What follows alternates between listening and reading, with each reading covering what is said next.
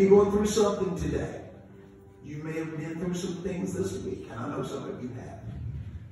But how many knows that God is still worthy? Yes.